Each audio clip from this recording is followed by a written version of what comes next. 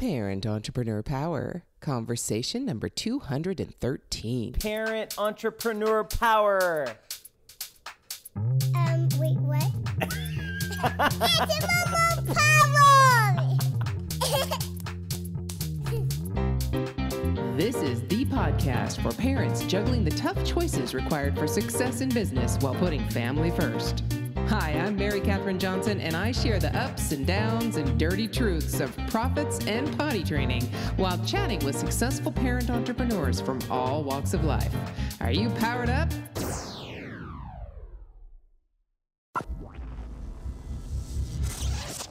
Hey there, Power Parents. Welcome to the conversation. Welcome to Parent Entrepreneur Power.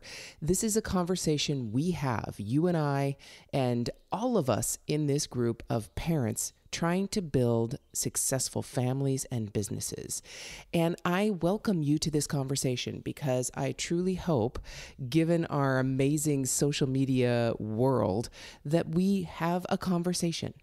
Um, I have had the privilege of speaking with many, many of the people who listen to this podcast and are uh, in this world of trying to build successful families and successful businesses. So, welcome to the conversation. All right, so I am now in. Oh, this is um, what the fourth, I believe, uh, in this series of basically the 10 steps to success with business and parenting. It's the Power Parents in Business series. And uh, yeah, let's go. One, two, three. Yep, this is number four. Um, I have a bunch of notes and I have basically written all these down. And, uh, you know, I got to tell you, last week we talked about um, mastering your productivity in order to get rid of some of those bad time habits, bad productivity productivity habits so you can master your profit. All right? That was all that that was not specifically business related, right? So I didn't talk about, you know, do post on social media 5 times a week or or blog a certain number of times or take your content and repurpose it. Okay, we're not talking about those kinds of things. I spent last week, I'm going to spend this week, next week and the following week. All of those, we're talking 4 weeks and I'm going to spend them on your mindset. Because if there's one thing I've learned, the number one thing I've learned is that your success starts with you. Not what you know, but what you do and how you talk to yourself and how you figure out uh, this whole world around you. So if you're one of those people that's just like, all right, Mary, you're doing woo woo crap. You just, you know, that, you lost me. I, I, my mindset's fine. I get up every day. I work my you know what off. Uh, my mindset's fine. I know I'm going to be successful. I'm done. You know, this is this is BS. I am here to tell you, bye bye. I have no problem with you going and listening to some other podcast or other episode that will give you what you need. But I'm telling you right now, I've gone to two conferences this month. Okay, we're talking March 2018. And both of them, uh, the people that were the most successful didn't specifically teach me business skills, they taught me mindset skills. All right. And every step along the way, we were, uh, okay, two people that impacted me the most.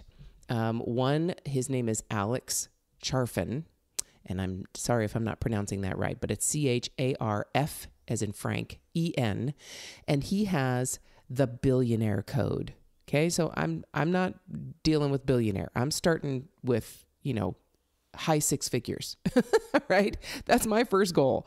Then we'll go to millionaire, then we'll go to billionaire if I live that long. All right. So, see, that right there was a, a mindset slip, right? If I live that long, I'm giving myself an excuse. Got to slap myself across the face and stop that. Um, who knows how far I'll go, as far as I want. And the same goes with you. So, Alex Charfen did an amazing job talking about mindset and talking about what stage you are in in your business and what you need to go to the next stage. The next person I'm sure you know is Tony Robbins. And I actually had the privilege of seeing him in person and attending uh, his talk. Uh, and I wouldn't talk, I wouldn't call it a talk. Let me tell you, it, it isn't an event And specifically, the thing he discussed was mindset. It really is all around you and the patterns you have in your head. All right. So I've taken about five minutes of this time, uh, possibly uh, getting close to that, to just introduce the fact that that's what I'm going to talk about. So let's dive into it. And if you don't believe me that it's mindset, go watch a Tony Robbins video. Go listen to uh, Tony Robbins audio. Um, read one of his blog posts. It, whatever. Find. Uh, consume content from Tony Robbins, and you will see very clearly that it's all about mindset. Okay? So, the thing I'm going to tackle today in your mindset is your morning routine. Now, we talked yesterday or last week about the power morning, P O W E R, right? That's I'm going to I'm not going to go over that again, but I am going to talk about your morning routine and how you can adjust it for productivity. So last week and this week are basically connected. We talked about how to start with your morning and you have to adapt that Okay, power parents, you really have to adapt it. It doesn't stay the same, at least not for me. I'm not a routine kind of person. I'm just not. Um, anytime I get into a routine, I almost personally sabotage that routine so that I can change it. It's just, I'm crazy that way. So I constantly have to adapt and figure out a new way to do the things that I need to do to get my mindset in the place that I need it. So we talked about the power morning routine. Now, the thing that doesn't change in my routine is I always write down those three things I must do. That's what we talked about last week and we ended with. What are the three things you must do today that will get you closer to your goal? Baby, baby steps. And I'm going to go through a little bit of a detail as to what I mean with that. But in terms of your morning routine, you know, I don't know if you meditate. I don't know if you pray. I don't know if you just have calm time. Um, whatever that is for you, you need to maximize that time and continue to grow with that time. So if you're not making progress in your own mindset, then that particular morning, that particular part of your morning routine is not really working. Okay. So you should have moments of clarity, moments of breakthrough. Otherwise, it's just a routine and it's not making any difference in your actual life. So let me reference Tony Robbins, and that's what I mean. Um, one of the things he talked about is um, people say, you know, gosh, I've in order to change my smoking habit or change my weight loss habit or or grow to the next level in my business, it took me ten years, it took me fifteen years, whatever that might be. Actually, it happened in a moment. And it took you 10 years to have yourself ready for that moment of change. Every single day, every single moment, we make choices. And there will be, if you allow it, there will be a moment when something shifts in your thought process, in your activity, whatever it might be. There will be a moment. It may take you three years to get to that moment before you can make that shift. But whenever that shift happens, you, my friend, will know it. You will feel it. You will see it. Your world will be different. The colors will be brighter. All right. I'm not going to start preaching. All right. But you know what I mean. Because if you're here, you've had it happen before. You, if you're listening to podcasts, you're trying to better your life. You have had moments like this. So they didn't. It didn't take ten years for that to happen. It took you 10 years to get to the place when you could have that moment and you can see it. So, through your morning routine, through your mindset shifts that you're trying to create in your life, through the productivity you're trying to accomplish throughout the day, there you need to adapt and make sure that you're constantly adapting and changing, not just staying in the routine. So let's look at the day, for instance. Okay, um, when my kids were younger, and that's what we're talking about, right? When my kids were younger, I would, my morning routine was very different from what it is now because now my kids are pretty much independent.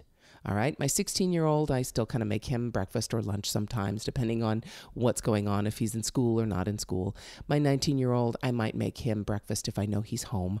Um, but, uh, but and my husband, of course, you know, he's up and going to work before I am, um, especially during tax season.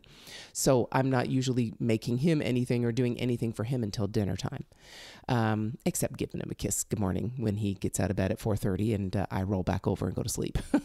um, so in that sense, I have a specific schedule that I need to keep. But when my kids were younger, you know, you have a very specific schedule you need to keep. If you have them in daycare, then you know you have to get up at a certain time. You have to get yourself ready at a certain time. You have to get them ready at a certain time. So, in that sense, if you're not getting up and starting your day with purpose, you're missing an opportunity for change. You're missing an opportunity for a moment a changing moment in your life. Something, in order for you to get to the next level, something needs to change. And it needs to feel broken enough that you will take the actions to make it change. So these morning routines are not just to get in a um, a set of uh, actions that feel comfortable that um, get you in a mindset where you're in om. Okay? That's not what I'm talking about. That state, that meditative state, is the state you want to get into so that you can tap into the next level that you need to attain. It's not to tap into that level to just find peace. Okay? Yes, we want peace. And yes, I do find peace. But in that peace and clarity comes my next step. You know what I'm talking about, right? If you meditate, I've had this happen uh, a few times. Okay. I am not so good at this whole process that every single day I get a breakthrough. Definitely, absolutely not. But I have had those times when I have been in this routine has been at the exact moment when change needs to happen in my life, and I get instant clarity. But I can't get that clarity when all the clutter is going on in my head, when my body is not feeling at its peak, when my nutrition, when my energy level is not feeling at its peak. When those things align, your power I'm telling you, power parents, your power is unstoppable. And please, I'm here to make sure you know that is not going to happen every single day. If you have that state where your meditative state gets you clarity, where your energy is right on point, where your exercise and your body, your physical body is in tune, and all of those things are aligned so that every single day you are finding clarity and jumping to the next level and having that moment when life changes for you, please give me a call please email me, mkj at messengerfunnels.com. Email me because I want to tap your brain. I want to talk to you, invite you on this program to talk to us about how you make that happen every single day. Most of us humans don't. We fall back into other patterns. We might reach that state in one moment, but then we fall back into other patterns the next day because we are habitual creatures. Okay? So I get it. That's that I'm here to tell you that's normal for me. I might go weeks of trying to get into that state and not have a breakthrough. I might go months uh, because I might stop meditating for a while because something breaks my routine. And of course, as I've already told you, I don't. I strive to not have a routine. I'm nuts that way. I'm telling you. But anyway, uh, something happens where I don't allow myself that growth, and it really is a choice. And I choose to allow myself to not do that. Uh, not get into that meditative state, not meditate every day, not exercise every day, not um, have the energy level and food intake that I need every day. I'm getting better and better and better. That's what life to me is about. That's the purpose of life to become the best human being possible, to give of myself. And the only way I can give of myself is to be that best human being. And then I can give to others. Because ultimately, that's, that's what we're here to do. We're here to help others in their journey. We're here to have the best journey ourselves, and in that, be an example and also a guiding light for others to have their best journeys. So, your morning routine. We talked about peace, openness, the who, what, and why, the exercise, and the reading. There's a reason they are power morning routines. And if you can get, excuse me, when you can get each of those stages in the in alignment with each other, magic happens. And as each day, especially with children, you know this, our children adapt and grow every that's their job. They grow and change every day. So we as parents have to adapt to that growth and change. Nothing stays the same. You might have one of your, if you have more than one child, you might have one of your children at one particular state, and then the other is like totally moving forward and changing and growing and going into puberty. And that throws the whole family off, right? I mean, we it's like trying to um, pin down a two year old after Halloween night. That's basically what this is like. You're trying to take a two year old that has just consumed a huge amount of sugar and try and get them pinned down and calmed down for bed. It, does, it just doesn't work. It, it's not, you can't force it. You have to ride it. And as you're riding it, you have to adapt and grow and change. So your morning routine is like that. And believe me, now that I'm on the other side of it, I can tell you it will change. It will get better. It it uh, it will get better. I promise you. And then you're going to be stuck with no excuses, my friends. No excuses as to why you can't have the exact morning routine you want. And you can't have that daily focus of movement forward. And I'm telling you, that's probably, I'm, I'm just going to say it straight. That's probably one of the reasons why in uh, January of 2017, January and February of 2017, my business exploded. And it's because I no longer have to split my energy. I, am I'm, I'm just going to tell you that. Um, my energy, and that was my choice, was split because my purpose was to raise my children. And I didn't want to send them to daycare and I didn't want to go get a job. And I was lucky enough, absolutely blessed enough, to have a husband who could allow me to do that, who could provide for the family so that I could do that and I could stay home and take care of my children. And I was also trying to build a business at the at the same time. So no matter what, my my energies were split. So I, I'm here to tell you that was my choice. And now that I no longer am required to split that energy so much. I still need to split it some for my 16 year old. Um, I'm still helping him navigate the world, thankfully, and I love doing that. But now that it's not so energy intensive as it was when he was 10 or 6 or 12, you know, all those stages have different um, issues that we have to deal with. I can now focus on what I need to do with my business and myself. And so I am having more of those breakthroughs daily.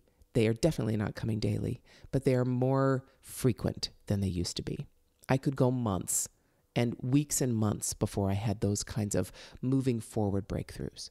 So, the purpose of this episode how can you adapt your morning routine so that you can move forward, so that you can tap into that place where everything is aligned. Your peace and meditation, your physical being is is aligned and your energy level is aligned. Your focus, your peace, your physical. How can you adapt every day to find that place when those three things come together and magic happens? That, my friends, is what your goal is in this whole power morning routine. It's not just to check off the box that you did it. Okay, I obtained peace. Great. There's the check mark there. Okay, I did openness. Yep, got that.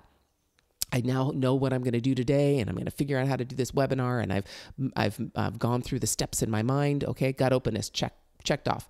Who, what, and why. Yep, I know who needs me. I know what three things I need to do, and I know why I'm doing them. Up, oh, check, check, check. All right, exercise. Yep, I checked that. And yes, reading. Okay, I did my 20 minutes, 15 minutes, 10 minutes, whatever it is. Okay, I've checked all the box. Boom, now go. As opposed to, I meditate and I meditate specifically on a particular issue that I'm having. And through that meditation, I find that light that I'm looking for. I find a glimpse of it. And then I journal and I have openness about it and I get a little deeper on what I need to do with that.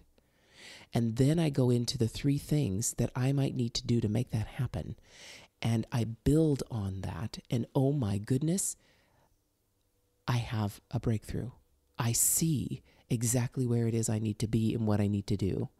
And then I go exercise and it goes deeper. And you know when you're exercising and you're sweating and you are um, in that place of physical attaining a goal, it is a high, it's a euphoric high. And when all those things, when I did the meditation, I did the openness, I know what three things I need to do, and I exercise, and it doesn't have to be in that order. But if you do all three of those things, and they are all three in relation to that thing that you understood in your meditation, and you focus on that in all three of those states, magic happens. As opposed to you heard how I was talking the first time I did it when I was just trying to check off boxes, right? It that's an energy level that is almost manic right and i've been in that energy level before where it's been manic and i just have to check the boxes and i have to just go and then i have to go do and get breakfast done and but that's not what we're talking about it's not just checking off the boxes. Adapt, and even if you only meditate for five or 10 minutes, but you actually get to that place where you're focused on what you need to do, and it might be take you 5 or 10 minutes. You might need 25 minutes to train your brain to get there okay? I don't know. I don't know what your brain is like. I don't know how you're able to focus but that's what meditation and peace will help you do. It will help you it'll train your brain to get rid of all the noise. And as entrepreneurs we have a lot of noise. Entrepreneurs and parents we have tons of noise going on around us how can you shut that noise out so that you can actually listen to yourself? That is what peace is about. That's what peace and openness gets you to. Then you add exercise to that, and you know the euphoria that you feel when you hit that point in exercise where you really push through the barrier of not wanting to do it and your body fighting you. And then you get to that place when you combine that place with the meditative place and the cognitive place of understanding what you meditated on, that, my friends, is what I'm talking about with adjusting your morning routine. Don't just check off the boxes, actually dive deep, cut out the noise. This is the time for you. We are parents, we take care of everyone else. But in this power morning routine, you need to tap into you. And sometimes, most times, that's the scariest place to be because it's much easier to take care of everyone else and use that as an excuse. And I know there are many of you listening to my voice right now where I was where you are. I was in that place of using those other those those external um what are they? They're they're distractions using those ex- external distractions as a reason why I can't reach the goals that I have. And I get it. And I didn't get this meditation as clearly as I get it now. So if you can find, excuse me, when you can find those few minutes of clarity where you block out the distractions, you block out the noise, you will see magic happen. And that's what Alex Charfen talks about. And that's what Tony Robbins talks about breaking those patterns, breaking that noise, and shutting off your brain to it, shutting off your ears to it, and looking inward. So, however, you need to adapt your morning routine to do that, how do you need to adapt your meditation? Do you need to change the place you meditate? Do you need to change the time you meditate? Do you need to change the tools that you use to meditate? Do it. How do you need to adapt your openness, your visualization, your journaling? What do you need to change in what you write and what you um, contemplate? Do it. How do you need to change your exercise so that you reach that place where you know your body no longer fights you? And if your body's not fighting you and your exercise is just routine, then that's number one, the thing you need to change right? You know that. You need to change that. Otherwise, you don't see change. You don't see progress in your energy level in your body. I don't know any athletes who who have a routine and they only stick with that and they never change it. In order to get better, you have to adapt what you do. If you're in a routine, you need to change it. How do you need to change your exercise so that you reach that level where your body's going, What the flip are you doing to me? and then you change it and it adapts and you find a new level. That's what I mean by adapt your morning routine. Adjust your morning routine so that you see progress, so that you're not just staying where you are and checking the boxes. All right, power parents. That's my preaching for the day. I hope I hope there was some clarity in what I said to bring you to the place you need to be. In the show notes, um, you will see a link to uh, the billionaire code from Alex Charfen, and you will see a link to our wonderful not guru, if you've seen his Netflix series. Uh, he's not our guru, right? Um, you will see a link to Tony Robbins as well. And as always, if you're listening to my voice, I can't even express how thankful I am, how appreciative I am that you are here and that I have the opportunity to share the little bit that I have accomplished in this world with you. And I so hope you share yours with me as well.